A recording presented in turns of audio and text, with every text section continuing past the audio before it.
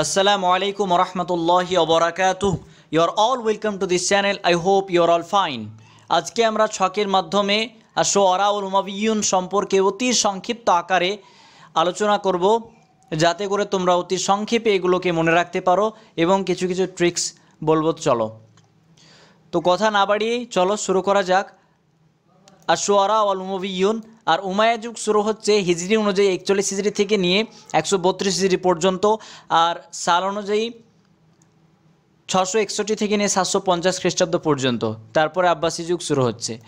ইসমুল কামিল প্রথমে জামিল বিন মামার সম্পর্কে আলোচনা হবে যে তার পুরো নাম হচ্ছে আবু আমর জামিল বিন আবদুল্লাহ বিন মামার আল উদরি তিনি ওদরি বংশোদ্ভূত। তিনি জন্মগ্রহণ করেন ওয়াদিউল কোরাবিল হেজাজ। হিজাজে ওয়াদিউল কোরা নামক স্থানে তিনি জন্মগ্রহণ করেন। তিনি মৃত্যুবরণ করেন আল কাহেরা অর্থাৎ মিশরে। তারিকুল বিলাদাতি জানা নেই। তারিকুল ওফাতি, অর্থাৎ তিনি মৃত্যুবরণ করেন বেরাসি হিজড়িতে। আল কাবিলা আল ওদরা তিনি উদরা গোত্র মানে বংশোদ্ভূত। তার গোত্র হচ্ছে উদরা এবং তিনি যে উদরাটা কুদা এর সঙ্গে মিলিত হচ্ছে। আলকাব, জামিল বিন মামারের লাকাব হচ্ছে জামিল বুসাইনা, এটা তার একটি উপাধি। তারপর শাইরুল গজাল আল ওদরি এটি হচ্ছে তার উপাধি। অর্থাৎ তিনি প্রেমমূলক কবিতা লিখতেন, তবে অশ্লীল না। সম্পূর্ণ উমর বিন আবি রাবিয়ার উল্টো। মা সুকাত হুয়াল উলা তার প্রথম প্রেমিকার নাম ছিল উম্মে জুসাইর। আর এই উম্মে জুসাইরের পরেই, উম্মে জুসাইরের বোন বুসাইনার সঙ্গে তার সম্পর্ক হয়ে যায়। পরবর্তীতে যখন জামিল বিন মামার বুসায়নার বাড়ির, বাড়িতে অনবরত যাওয়া আসা শুরু করে দেয়, এ তখন বুসায়নার পরিবার তার প্রতি রেগে রাগন মানে রেগে যায়।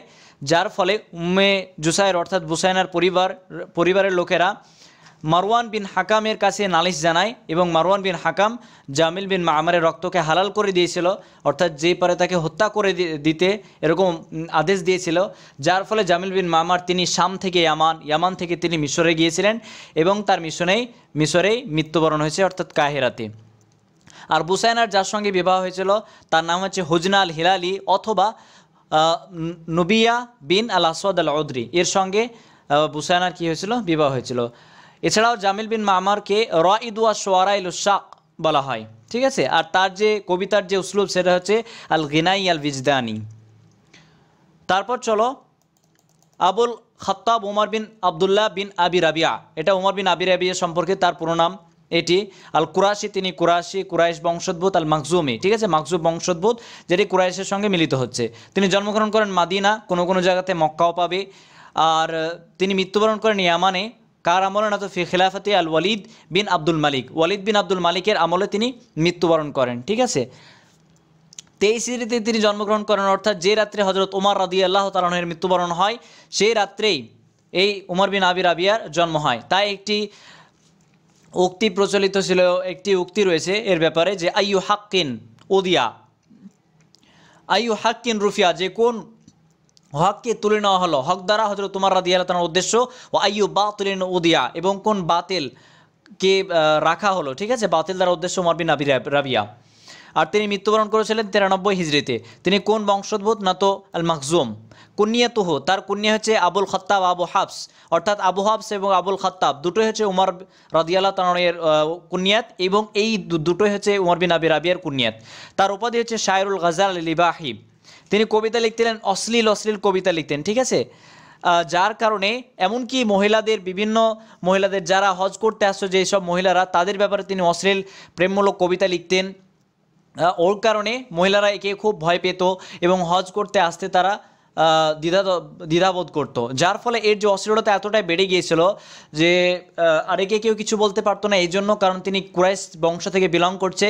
তাই শেষ পর্যন্ত উমর বিন আব্দুল আজিজ তিনি কি করেছিলেন? একে দাহালা দাহালাক নামক স্থানে তাকে নির্বাসন দিয়েছিলেন। দাহালাক এটি ইয়ামান এবং হাবাসার মধ্যবর্তী স্থানে অবস্থিত। তো সেখানে তাকে কী করা হয়? নির্বাসন দেওয়া হয়। আর এই তার অশ্লীল কবিতার কারণে তাকে শায়রুল গজাল আল ইবাহি, এটা হচ্ছে তার মানে তাকে বলা হয় শায়রুল গজাল আল ইবাহি। ঠিক আছে? সম্পূর্ণ এই জামিল বিন মামারের উল্টো। কারণ জামিল বিন মামার তিনি অশ্লীল কবিতা লিখতেন না, বরং তার প্রেমিকাকে উদ্দেশ্য করে ভালো ভালো কবিতা লিখতেন, তবে তার মধ্যে অশ্লীল কথাবার্তা থাকতো না। আর এ সম্পূর্ণ উল্টো। শেষ বয়সে ওমর বিন আবি রাবিয়া তিনি ঠিক হয়ে গিয়েছিলেন, যার ফলে এবং বলা হয় যে, এই উমর বিন আবে রাবিয়া তিনি এগুলো লিখতেন, অর্থাৎ এই কবিতাগুলো লিখতেন, কিন্তু তিনি এসব কাজ করতেন না, ঠিক আছে? আর তারপর চলো, এই গেল ওমর বিন আবির আবিয়া সম্পর্কে সংক্ষিপ্ত আকারে আলোচনা। তারপর Abu Malik bin Ghiyas bin Ghaus al Masihi Masihi আর তাগলিবি এটা হচ্ছে আখতাল সম্পর্কে। আখতালের পুরো নাম এটি। তিনি একজন খ্রিস্টান ছিলেন আর তাগলিবি, তাগলিব বংশ, বংশোদ্ভূত। কোথায় জন্মগ্রহণ করেন না তো আল হেরাতে ঠিক আছে? সৌদি আরবের হেরাতে। আল জাজিরাতুল ফুরাতিয়া, এখানে তিনি মৃত্যুবরণ করেন। আর তিনি জন্মগ্রহণ করেন আমাদের হাসান জায়াতের বইয়ে রয়েছে উনিশ, আর কোথাও কোথাও কুড়ি পাবে। তো উনিশ অথবা কুড়ি হিজড়িতে তিনি জন্মগ্রহণ করেন, মৃত্যুবরণ করেন পঁচানব্বই হিজড়িতে। তিনি কোন বংশোদ্ভূত? না তো তাগলিব বংশোদ্ভূত। তার যে উপাধি, আখতাল, ঠিক আছে? আখতাল এই জন্য কারণ তার লি সালা ততি লিসানিহি। তার অধ্যত্বপূর্ণ কথাবার্তার কারণে তাকে আখতাল বলা হয়। আর দুবাল দুবাল মানে আল হাইমার সগির, অর্থাৎ ছোট গাধা। এটি আসলে আখতালের সৎ মা এটা দিয়ে, এই উপাধিটি দিয়েছিলেন। কারণ আখতাল সবসময় তার সঙ্গে ঝগড়া করতে থাকতো, যার কারণে এই উপাধিটি দিয়েছিলেন। এছাড়াও তাকে শায়রু বানি উমাইয়াতা ও শায়রু আমির মিনিন বলা হয়। আল আখতাল তিনি আনসারদের হেজা করেছিলেন। ইয়াজিদ বিন মোয়ামিয়া, মোয়াবিয়ের আদেশে, ঠিক আছে? রহুয়া আহাদু আলাসাতি আল মোতাকদ্দিমিনা ফিহাদ আল আসর। অর্থাৎ উমায়া যুগে যে তিনজন অগ্রবর্তী এবং মোতাকাদ্দিম কবি ছিলেন, তাদের মধ্যে ইনি একজন। আর দুজনকে না তো ফারাজদাক এবং জারির। এই তিনজনকে একসঙ্গে সোয়ারা ওয়া নাকাইদ বলা হয়, ঠিক আছে? অর্থাৎ যারা একে অপরকে হেজা করেছে একই ওজনে। আখতাল যে ওজন ব্যবহার করে ফারাজদাকের হেজা করেছে, ফারাজদাক সে ওজন ব্যবহার করে আখতালের হেজা করেছে, এইভাবে। এটাকে বলছে শের ওয়ান নাকিদ। ঠিক আছে? তারপর চলো আখতাল। অর্থাৎ বিশেষ করে এই যুগে জারির এবং ফারাজদাকের মধ্যে হেজা চলছিল। আখতাল এর মাঝে ছিল না। কিন্তু আখতাল কীভাবে ঢুকে গেল? আখতাল একসময় তার ছেলের নাম হচ্ছে মালিক। মালিককে ইরাকে পাঠায়। এই দেখতে, এটা দেখার জন্য যে জারির এবং ফারাজদাকের অবস্থা কী। তারা তখন হেজা করছে। তখন তার ছেলে মালিক গিয়ে মালিক ফিরে এসে, ইরাক থেকে ফিরে এসে তার পিতাকে অর্থাৎ আখতালকে বলল যে ওয়াজাত্তু জারিরা নিয়াগ রুফু মিন বাহারিন। যে, জারির কী কী করছে? জারির কী করছে? সমুদ্র থেকে সে মুক্ত এগুলো বের করছে। ও ওয়াজাত্তু আল ফারাজদাক ইয়ান হতু ইয়ান হাতু মিন সাখার। এবং ফারাজদা কী করছে? সে পাথর দিয়ে ভাস্কর্য বা মূর্তি তৈরি করছে। ঠিক আছে? বা কিছু তৈরি করছে। পাথর কাটছে এই ধরনের। তো যা আখতাল জারিরকে ফারাজদাকের ওপর প্রাধান্য দিয়েছিলেন, যার ফলে ফারাজদাকের গোত্রের লোক আখতার কাছে আসে, অতপর আখতাল জারির হেজা করে দেয়। জারির এটা শুনে আখতালের হেজা করে দেয়। আখতাল এভাবে তাদের মধ্যে চলে আসে এবং তাদের তিনজনের মধ্যে হেজা শুরু হয়ে যায়। ঠিক আছে? তারপর চলো। আবু ফিরাজ হাম্মাম বিন গালিব বিন সাসা, এটি হচ্ছে ফারাজদাক সম্পর্কে যে এটি তার পুরো নাম। তিনি কোথায় জন্মগ্রহণ না তো কাদিমা নামক স্থানে যেটা বাসরাতে অবস্থিত, আর তিনি মৃত্যুবরণ করেন বাসরাতে।